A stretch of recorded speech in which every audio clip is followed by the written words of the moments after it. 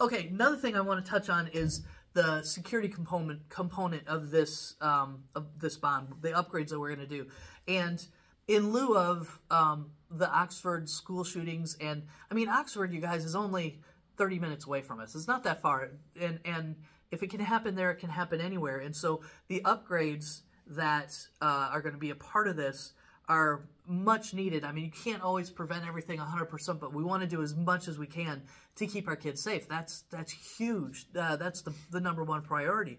Um, and then there was another question online that I want to just address. Um, it said the security enhancements can be made through state grants. Uh, the state education budget is a surplus, meaning that the security components of this bond could be dismissed and those funds used for academics. But then somebody else online said that particular program is stalled at the state level and the, the funds, we don't know when we might get them.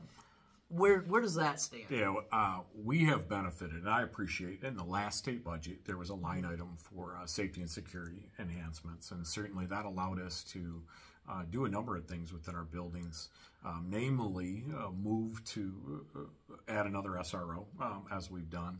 Um, SRO, meaning? Uh, school resource officer, okay. police officer. okay. So we have one in partnership with Flushing City and Yep. two SROs in partnership with Flushing Township. Okay. Um, and certainly where we uh, pay uh, uh, the portion that um, those officers spend with us, uh, Sure. if you will, and, and gracious, uh, the township and city are gracious enough to, to pay for the portion that they're not allocated to the school. So it's a great partnership. Um, so there there is a small grant, and we hope that it's there next Right. year. Um, that allows us to do things like that. It also allowed us to um, maintain and add premier security officers, which are uh, former law enforcement and or Okay. um, military um, that are armed in our buildings. And so we have, you know, at least an armed officer in every building at all times when kids are there. And so Okay. um, the grant is well intended. Um, it is helpful. Um, it does not come close to meeting the, the financial needs of enhanced security. Right. Uh, certainly, uh, that last grant allowed us to start putting a few more um, uh, uh, security cameras in. It allowed Right. us to update and upgrade uh, bus bus security cameras um, inside and outside, Mm-hmm. obviously to help kids. It allowed us to do those things, and so I, I hope I hope and pray that. Um, that is part of the next budget. Obviously, the governor um, I got it. Sorry. Okay, back to we were, where we were before I had a coughing fit. Sorry about that. Matt, sorry. Yeah, no, I was just going to say the governor certainly has, has put forward a projected budget, um, and the Senate and the House will as well. And, Right. and, we hope and pray that um, safety and security is a line item in there. Mm-hmm. Uh, it's been combined combined with uh, mental health supports, uh, basically Okay. one fund. So, um, and people have different ideas, and so we, we hope that we're able to um, have that line item again. But it, but it, it, you know, it just covers a small portion of the safety and security needs that we have in the district. So this bond, Yep. what what exactly are we going to spend money on? So actually, let me let me go back because Yeah. people were asking what's the projected breakdown of the money spent on all these different things. So we're going to go through this real quick, but the breakdown of sa- safety and security is about two to three million dollars. Yeah, it's two to it two to three million dollars on safety and security, obviously, and we can come back to it, but it's the most important thing we do. Absolutely. You know, obviously we're a school, math, science, English, social studies. Right. Grades are incredibly important. It's why we exist. But if we can't keep keep kids safe, they've got to go home in a better state, you know, physical, mental, emotional, than they came to us. If we can't keep them safe, nothing else really matters. And I've said Yes. that to many parents over the years, Yes. uh, whether it was in this district or other districts throughout throughout my career. We've got to keep kids safe, and so a two to three million dollar investment in safety and security, um, instructional technology infusion of two to three to million two to three million dollars um, over the next two years. Elementary playground enhancements, two and a half million dollars to three and a half million dollars, based on the price of asphalt more than anything. And Right, again, we right. can come back to some of these. We'll come back to that. Performing arts and auditorium updates, uh, 1.25 million to two or just north of 2 million to Mm-hmm. do uh, the substantial upgrades we want to do. The HVAC upgrades of the gyms and cafeterias, which is about a two and a half to three and a half million dollar ask, Right. uh, depending on um, you know a, a few factors Yeah. um, and when we can get it bid.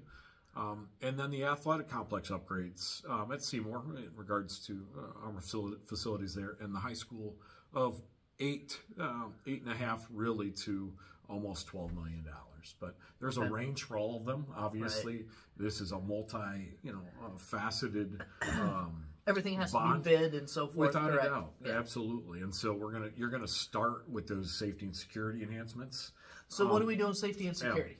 Well, for like I said, highest priority. Good yes, question. yes. Um, we want to replace exterior doors for added security. You look at some of these secondary doors and some of our primary doors, but more than anything, our secondary doors, and they're original to the buildings. They were put in in the Right. 50s and in the 60s and the 70s. and so while we've done a good job of secured entries, um, where you have to buzz in and be buzzed in our primaries, uh, we would like um, to update our secondary entries. Right. Together with that, we need uh, to upgrade um, our um, how we how we allow people into the building, whether it's a punch code or whether it's a card. Um, Okay. So our, our alarm codes and how we lock down the buildings can be severely enhanced. Uh, Okay. It needs to be upgraded. Some of that is Sure. original um, or uh, was first put in in the 80s and it is outdated. It is Well, way technology has advanced so much too. Without so, a doubt. So right. we'd like to get rid of the punch codes, certainly, um, um, as those are recycled, you know, and Yeah. some, um, and other people may have gotten their hands on those punch codes, you know, throughout the years. And so we'd like to update basically um, that secure aspect of our buildings. We would like to add, uh, update alarm systems, certainly.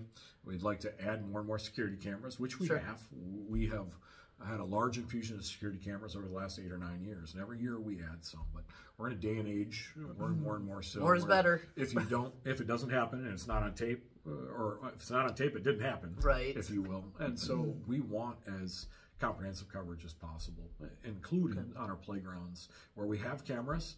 You know, that might be from 300 yards away and it's Right. pixelated, and you can't tell whether it's a human or a robot. You know, um, if you will, or Yeah. um, and so uh, we want to upgra- upgrade that. Um, and we want to add ballistic film. And anytime I say ballistic film to windows and or doors, it, Right. get, it makes the little hairs on the back of my neck stand up because Yes. you hate to think of somebody trying to shoot their way into a building.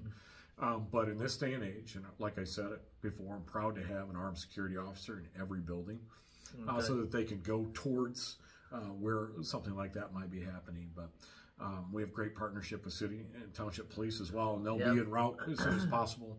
But ballistic film would, would uh, allow uh, for a little more time before somebody was able to shoot themselves Right. into a building to do our kids harm. And so uh, you may go from That's- five seconds to, to 45 seconds. That can make all the difference in the world. every second, uh, without a doubt, would allow us to get uh, somebody armed to that area quicker. And so we want to be able to do that with uh, where we have a fair amount of glass. Excellent, excellent.